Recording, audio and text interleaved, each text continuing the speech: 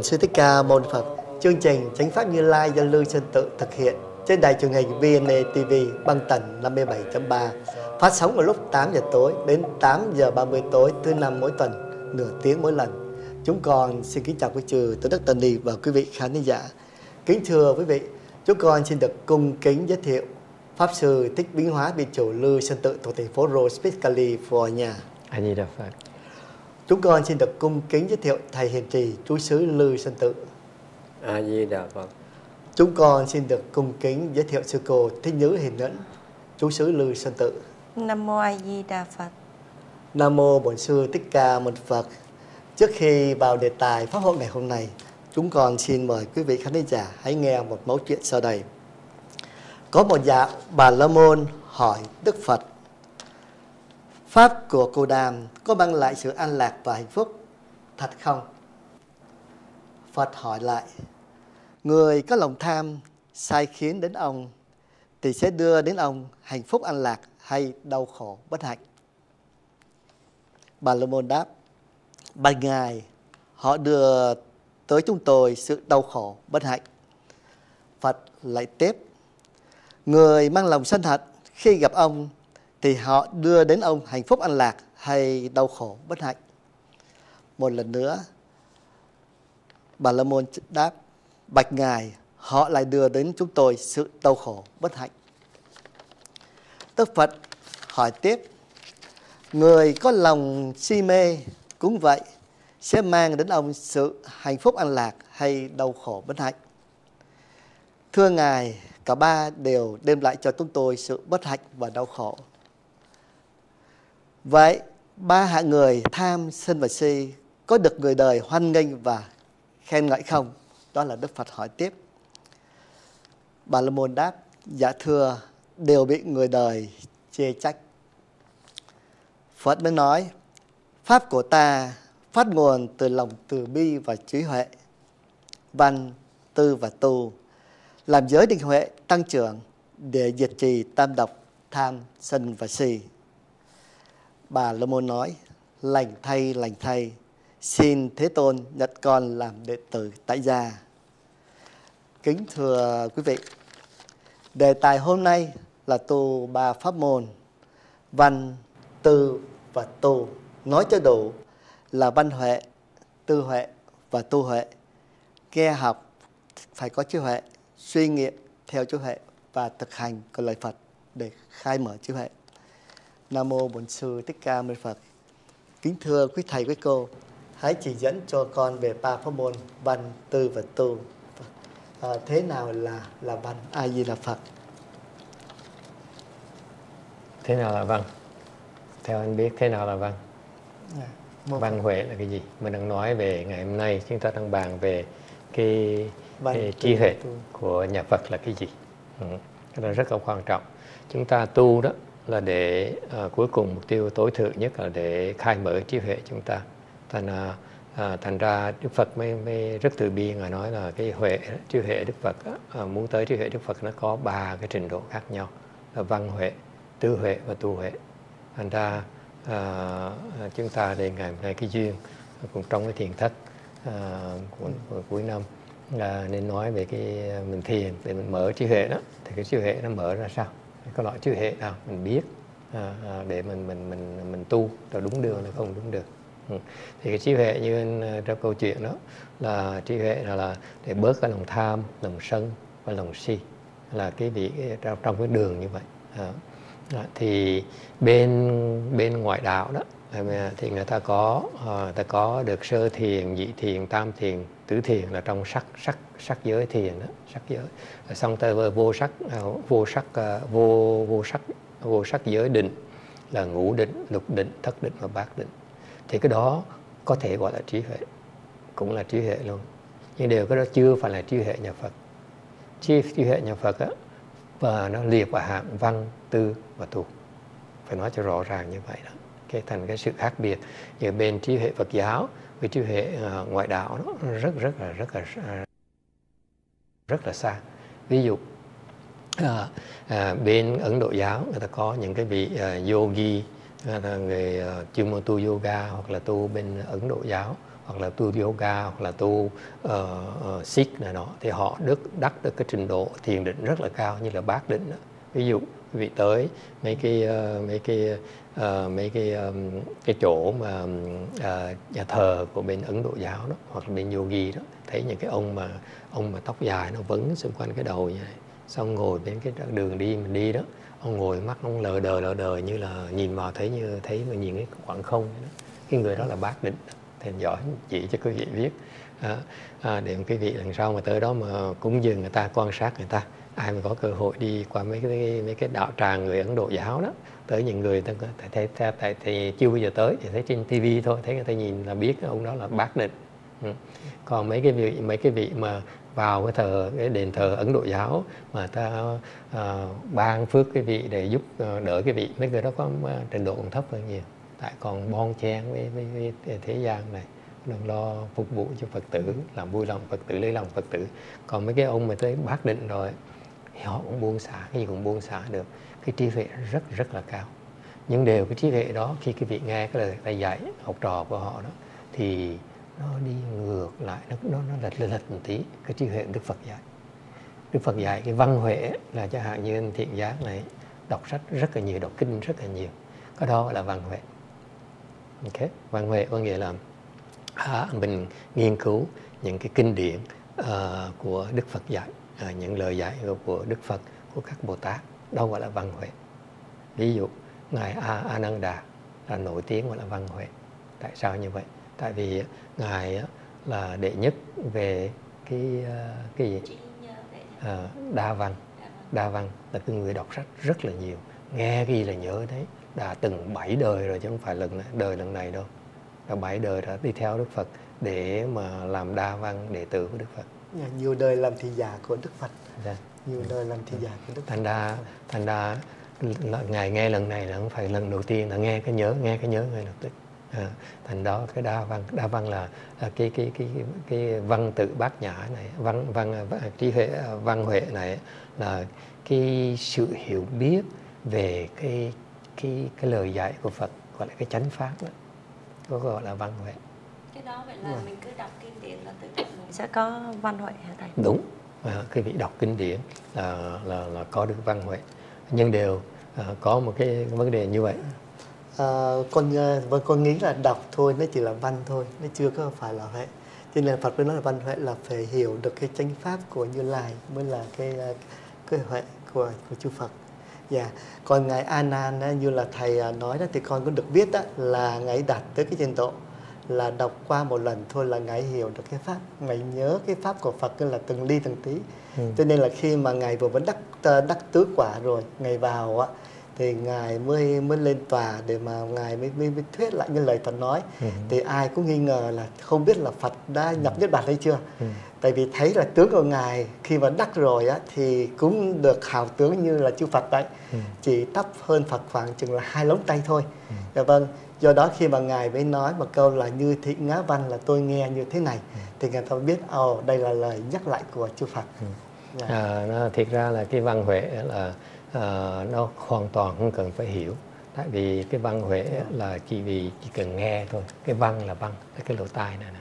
Chỉ nghe là có cái trí huệ đó chứ không phải cần hiểu. Cái hiểu cái gì? Khi anh dùng chữ hiểu là dùng cái cái cái cái lục thức này là cái đó không phải là cái huệ cái khác biệt thành là cái cái này nó rất rất quan trọng phải phải, phải, phải quan sát.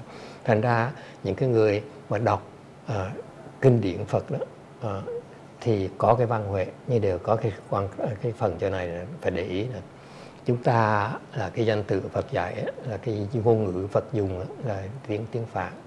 Cái ngôn ngữ đó là tiếng Phạn tiếng cái danh từ Phật dạy là như vậy. Sau họ họ, họ các các tổ sư mới, mới mới mới chép lại sau chép lại bằng dùng tiếng Phạn tiếng Pali. Thì cái những cái nguyên văn đó là từ các vị các đấng giác ngộ họ sao chép ra chúng ta. Okay người Việt Nam chúng ta đó người Tàu đó nó có cái kẹt ở chỗ là họ không đọc được cái chữ uh, tiếng Phạn không đọc được Pali. Thành những cái khi mà họ dịch ra tiếng Anh đó tiếng Việt đó đó cái người dịch nó rất quan trọng cái người dịch mà không đàng hoàng cái văn huệ nó bị lệch. Thành nó cái đó không thể gọi là một trăm phần trăm văn huệ. Văn huệ nó có cái trình độ nó khác nhau. Cái việc học mà nếu biết tiếng phạn học cái văn huệ nó chính xác hơn là học cái tiếng việt nam chẳng hạn. Tại vì chúng ta đã qua một cái người thông dịch rồi. Thế, thì cái văn huệ rất quan trọng. Thật ra nói một cách mà một cách mà công bằng thì những cái vị giáo sư trong trường đại học cái văn huệ họ rất rất là cao vì họ đọc được nguyên nguyên văn. Rồi uh, nhưng đều nhưng đều cái đó là mới trình độ thấp nhất của cái cái trí huệ thôi. Là biết giống như là nói như con con xin lỗi nói như con vẹt vậy thôi là đọc gì nói vậy thôi. Còn cái văn huệ nó kẹp chỗ này. Cái vị biết đức phật giảng kinh bát nhã đức phật giảng kinh thù lăng nghiêm cái đức phật giảng kinh pháp hoa thì các ngài các các vị giáo sư các vị thầy mà đọc có đa văn đó ta đọc những cái đó ta biết là phật nói cái gì. Được khi mà các ngài mà ráp lại ráp là ờ, cái cái ý nghĩa của bác bác nhã như vậy ráp lại ý nghĩa về kinh đại niết bàn thì ráp lại ráp nó bị trật. Thành ra thành ra cái khổ là cái văn huệ nó chưa đủ chứ không phải là hiểu. Văn huệ chỉ nghe thôi. Vâng. nếu như quý vị nghe mà nhắc lại đúng nguyên văn như vậy đó là văn huệ. Chỉ nhớ thôi chứ không phải hiểu. Con người không nhớ đó không có văn huệ À, thưa cho con à, được à, nói thêm một chút xíu. Khi văn á, là à, coi như chỉ còn có một vài phút nữa thưa à, à, Nam mô Bổn sư Thích Ca Phật xin quý vị đừng giận máu chúng tôi sẽ trở lại cho phần thông tin thương mại của quý đài. Nam mô A Di Đà Phật. À, Nam mô Bổn sư Thích Ca Bổn Phật. À, chương trình Chi pháp tương lai với đề tài là văn tư và tu. À, văn huệ là khi mà chúng ta nghe kinh, đọc kinh có thể nghe từ các thầy các cô thuyết giảng có thể nghe từ băng đĩa hoặc là chúng ta tự đọc những uh, cái kinh của Phật. Đây là cái bước uh, mở đầu để mà chúng ta có được trí huệ của văn.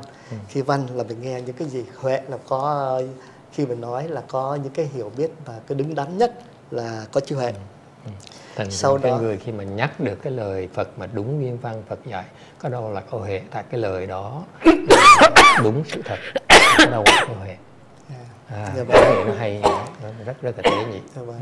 chứ không cần hiểu phải nhớ như vậy. Cái văn á là mình chỉ nghe mình học thuộc lầu thôi.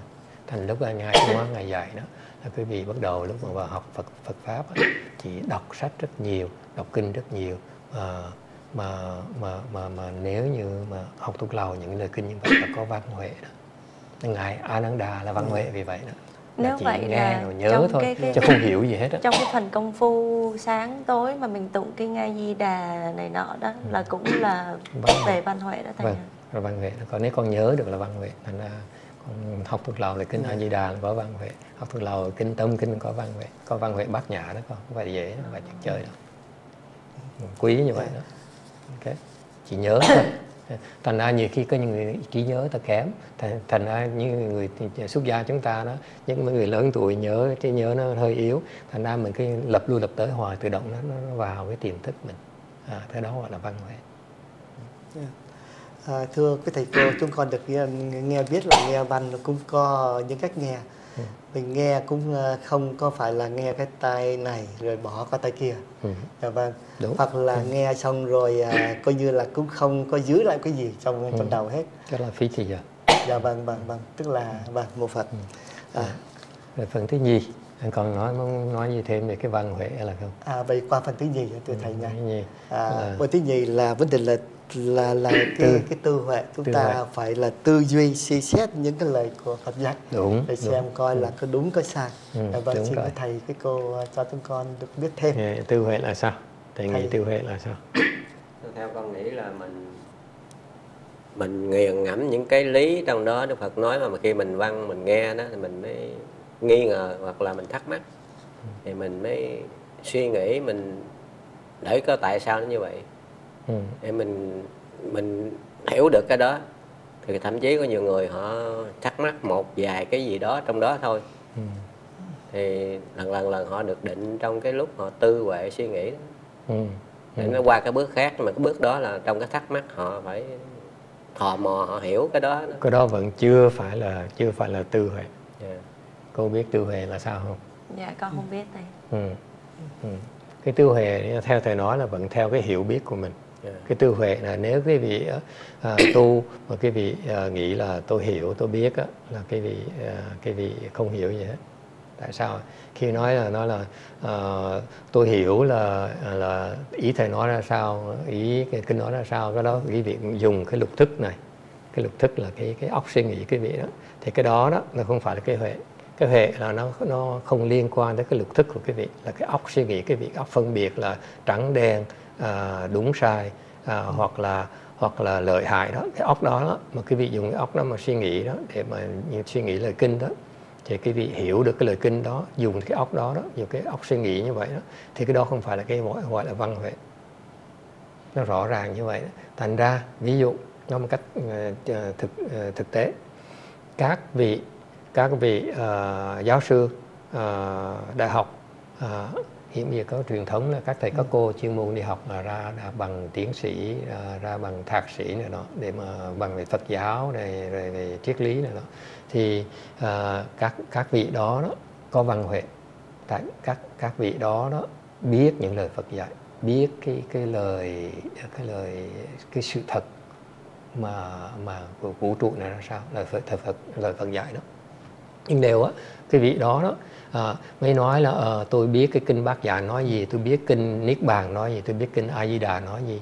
Thành cái vị ráp lại với nhau á, thì cái đó nó cái vị mới các ngài đó cái vị đó mới nói là tôi hiểu cái Phật pháp. Khi mà các, các vị đó nói là tôi hiểu Phật pháp là cái vị đó các các vị đó không có cái văn huệ ờ, không có cái cái tư huệ thì xin lỗi. Tại sao rồi? Lại quý vị hiểu họ nghĩ là họ hiểu. Khi mà quý vị tu Phật giáo mà nghĩ là tôi hiểu cái lời Phật dạy đó là cái vị đang nói về tuy vị dùng tôi hiểu với cái óc suy nghĩ của tôi đó là cái vị không có cái huệ không có không có cái cái tư huệ. Nghe rõ ràng không? Ngay dạng cái này vậy là cái tư huệ là mình không phải suy nghĩ mà không hiểu. phải suy nghĩ. Tự hiểu thôi. Thành ra lúc đầu mình dạy lúc mình dạy lúc ban huệ là mình chỉ nghe thôi. Rồi mình nghe luôn nghe tới để mình nhớ thôi. Tự động nó nhớ nghe nhiều lần nó nhớ chứ mình không cần suy nghĩ. Thằng con nhớ ngồi trong giảng kinh thầy dạy các con là sao? Ừ. chỉ ngồi nghe thôi. Nghe rồi thầy cứ lập lui lập tới. Lập lui lập tới hoài cái những những cái những cái lời Phật dạy kinh dạy mình dạy mình đàn bạn luôn bằng tới. Tự động nó sẽ thấm vào chứ không cần không cần phải suy nghĩ. Tại vì cái vị suy nghĩ là lạc đường rồi. Nói là tôi biết tôi biết lời Phật dạy ý Phật là sao ý tổ ra sao là cái vị đang dùng cái lục thức này là không phải cái trí huệ là nó đi trật đường rồi không nhưng mà cái tư huệ. đó là ví dụ như trong lúc thầy giảng kinh thầy chỉ cho tụi con một cái cách ví dụ như thầy chỉ cho cái cách mà đối phó với cái sự giận dữ. Đúng. Rồi tụi con hiểu rồi tụi con áp dụng vô thực tế. Ừ. thì cái đó có gọi là tư huệ không thầy? Không cái đó không phải là tư huệ. Cái đó chỉ là cái phương pháp giải quyết học phương pháp giải quyết cái chướng ngại của cái vị thôi cái chướng ngại nó khiến cái vị mở cái tư huệ không được thôi thành phải chỉ cái vị cái phương pháp để mà giải cái cái tụ ma nó tấn công cái vị hoặc nó nó nó tới nó nó nó làm mờ mắt cái vị thì chỉ cái vị như vậy để cái vị có thể có cơ hội để mở được cái tư huệ thì mở được tư huệ ra sao À, thưa thưa thầy cho con hỏi một điều này nữa. khi mà vấn đề mà tư duy đây là tư duy có lời của chư Phật dạy ừ. thì bây giờ cái đạo của Bà La Môn hoặc các đạo khác ừ. thì họ cũng đọc theo kinh của à, của các tôn giáo bạn của bác đúng. Thế nhá ừ. như là họ cũng đọc họ thì con nó thưa là cũng là nếu mà không có cái cái tư duy mà suy nghĩ để mà phân biệt cái ừ. À, cái cái đúng cái sai. Ừ. thì khi như là họ đọc vậy thì rốt cuộc không không thâm nhập. Thâm nhập cái đó thì hóa ra nó lại đi. Họ không có cái phương pháp để mà tư duy cho đúng để mà hiểu được gọi là để để để à. thể hội được. Cái đó không thể dùng cái chữ hiểu mà thể hội được cái lời Phật dạy chứ không phải để mà hiểu. Vâng. lời Như Phật vậy, dạy không phải để mà hiểu. phương pháp đó thì đó ừ. cái phương pháp đó thế nào là cái cái, cái phương pháp? Thì thành từ cái văn huệ mà dẫn tới tư huệ làm sao bây giờ? Thì mà thầy nói một cách rõ ràng à, cái tư huệ là cái vị tư huệ là cái vị phải quán mới đạt được cái tư huệ chứ không thể hiểu. Không phải tự hiểu mà ra. À, cái quán là gì quán như là Phật dạy giả hạn như muốn mở cái vật, cái cái cái tư huệ đó. Thì bữa trước, lần trước ba mình mời cái thầy cái thầy Thái Lan tới đó, thì cái ông đó, ông mở được tư huệ.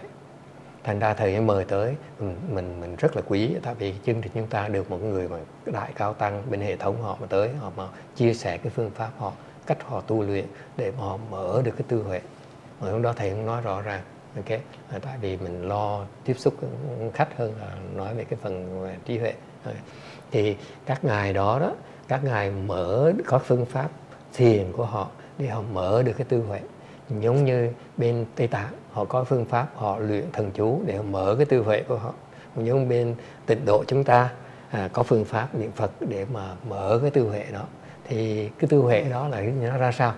Tư huệ đó là quý vị quán được cái lời Phật dạy mà thấy được cái cái sự thật đó thể hội được nhưng phải là hiểu. Thể hội được nghĩa là sao? Hiểu là cái vị dùng cái trí này mà hiểu là ờ à, tôi này cái này một cộng hai là ba cái đó là dùng cái trí suy luận mình ra mà tính ra gọi là đúng. Nhưng đó vẫn là dùng cái trí trí trí, trí phân biệt ấp phân biệt này chưa phải là trí huệ. Okay? đó là tri thức và hoặc là kinh nghiệm thôi chứ không phải là trí huệ. Còn Phật giáo chúng ta và tư huệ đó là cái vị à, thể hội được. Thể hội được có nghĩa là à, à, thể hội là cái thân thân quý vị nó nó nó sống trong cái, cái cảnh giới đó. Và hội là cái óc quý vị nó thâm thâm nhập được. Có nghĩa là sao? Nói một cách à, à, trắng trợn nói cách à, giản dị là thể hội được có nghĩa là quý vị à, thấy được cái không. Ừ. cái đó là cái tư duy cái tất cả những tư duy để đưa tới cái không. Cái cái cái vô bộ cái cái, cái không cửa không. cái chân không? Chưa phải chân không. Cái này chỉ là không thôi. Không của bản ngã không của pháp thôi. À, thành cái tư huệ ít. Thành ra ít người giảng nghĩa trong ngay ngày tiên hóa lúc thầy bắt đầu học ngài cũng giảng cái này rõ ràng lắm. À, tại vì tại vì uh, cái vị tu mà đúng phương pháp thì như chẳng hạn như uh, ví dụ mình hoài cái vị hòa thượng mà thái lan đó ngài không giảng rõ ràng được như vậy đâu. Tại người ta đâu cần biết thành thầy phân tích nha tại vì nên đại thừa mình phải phân tích rõ ràng cái tư huệ nó khác cái tu huệ nó chỗ nào. Cái tư huệ đó là tại thì giờ đó không còn bao nhiêu nữa.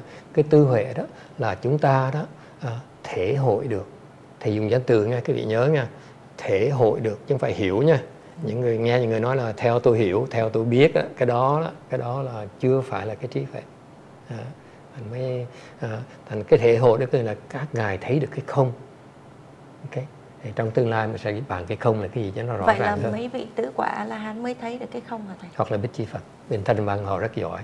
Ở các ngài tứ quả la hán hoặc bích chi phật họ họ thấy được cái không của cái của cái bản ngã và thấy được cái không của cái pháp. Thành ra đó họ có được cái tư huệ.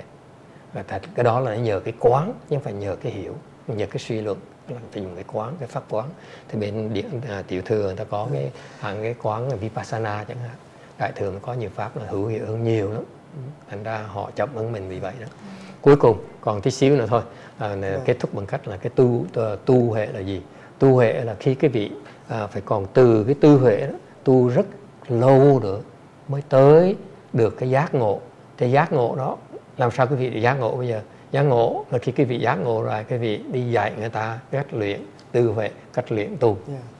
phát triển à. cái tu thành cái tu huệ này là khi quý vị biết cái người, người tu huệ cái người mà à, à, thứ nhất phải có được được cái tư huệ rồi mới à, tiếp tục tu tiếp à, để mà à, được giác ngộ yeah. Dạ. là thấy được cái phật tánh đó thì thiền tông gọi là kiến tánh đó tu huệ là kiến tánh yeah. Dạ. mô phật à, cảm ơn quý thầy cô đã giảng cho chúng con về vấn đề là văn từ phật tu.